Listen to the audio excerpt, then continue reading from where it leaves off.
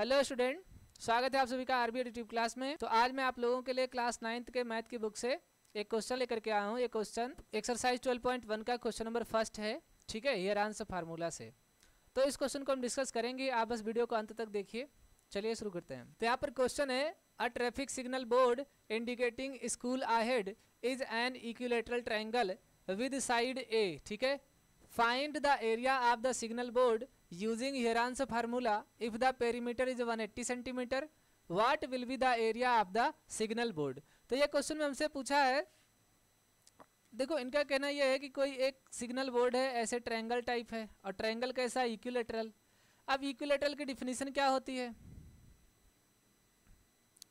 तो देखो इक्विलेटरल ऐसा ट्रायंगल होता है जिसकी सारी साइडें बराबर होती हैं, ठीक है? और उसकी साइड को हम स्मॉल ए लिट करते हैं। तो चलिए फिर शुरू करते हैं यहाँ पे। Solution let small a be the side of equilateral triangle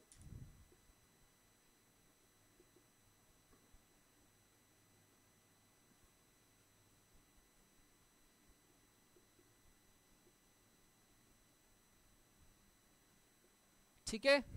Let a be the side of equilateral triangle मान लेते हैं कि ए जो है इक्विलेटरल ट्रायंगल की साइड है तो यहाँ पर ये भी ए हो जाएगा, ये भी ए हो जाएगा और ये भी ए हो जाएगा, ठीक है? पेरीमीटर दिया हुआ है पेरीमीटर कितना दिया है? 180 तो यहाँ पर पेरीमीटर का फार्मूला इस्तेमाल करके साइड की वैल्यू को फाइंड करेंगे. सो वी हैव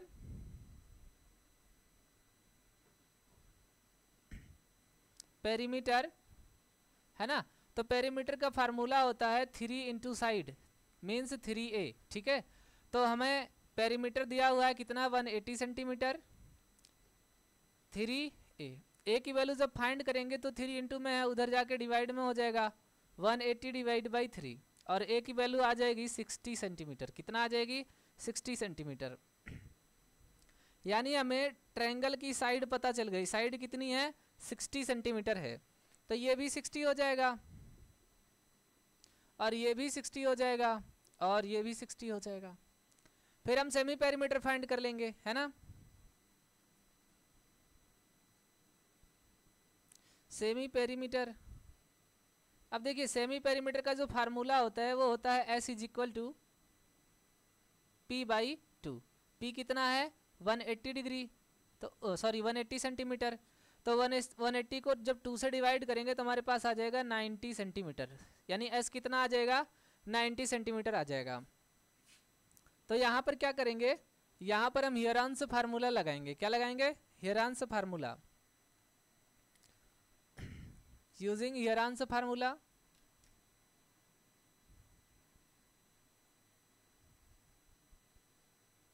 तो हियरांस फार्मूला होता क्या है? A is equal to under root s s minus a s minus b s minus c जहाँ पर एस क्या होता है? सेमी पेरीमीटर ए बी और सी जो होता है, वो ट्रायंगल की तीनों साइड होती हैं। तो यहाँ पर तो ट्रायंगल की तीनों साइड तो एक ही होगी। मतलब जहाँ पर एस है सेमी पेरीमीटर यानी कि 90 centimetre so 90 90 minus sixty ninety minus sixty ninety minus sixty. तो यहाँ पर आगे चल के जब सब्ट्रैक्शन करेंगे तो ninety into thirty into thirty और इंटू थर्टी हो जाएगा। ठीक है? अभी अभी आप एक चीज़ देखो, ये जो नाइन्टी है ना, ये जो नाइन्टी है, इसको हम राइट कर सकते हैं थ्री इंटू थर्टी है ना? थ्री इंटू थर्टी हम नाइन्टी को राइट कर सकते हैं तो वो यहाँ पर हम राइट कर लेंगे। Three into thirty into thirty into thirty into thirty तो देखो, यहाँ पर एक थर्टी का पेयर बन रहा है और यहाँ पर एक थर्टी का पेयर बन रहा है। तो स्क्वायर रूट के केस में क्या होता है? जिसका पेयर बनता है, उसको बाहर निकाल लेते हैं। तो यहाँ से एक थर्टी बाहर निकल जाएगा और यहाँ से एक थर्टी बाहर निकल जाएगा। इसका पेयर नहीं बन रहा है तो under root three under root में ही रहेगा। तो ये हो जाएगा nine hundred under root three centimetre square कर चूँकि एरिया है तो क्या हो जाएगा? सेंटीमीटर स्क्वायर हो जाएगा। ठीक है? तो यहाँ पर ये हमारा इस क्वेश्चन का आंसर होगा। इक्वलेटरल ट्रायंगल का एरिया कितना होगा? 900 hundred under root three centimetre square इस क्वेश्चन का हमारा ये आंसर होगा, ठीक है? यहाँ पर एरिया कितना आएगा? 900 hundred under root three centimetre square अब आप इस क्वेश्चन को राइट डाउन कर लें या फिर आप स्क्रीनशॉट ले लें। वीडियो अगर अच्छा लगा हो तो कमेंट बॉक्स में ज़रूर बताएँ। और लाइक शेयर तो कर ही दें, साथ ही साथ चैनल को भी सब्सक्राइब कर दें। मिलते हैं अगले वीडियो में, तब तक के लिए थैंक यू क्लास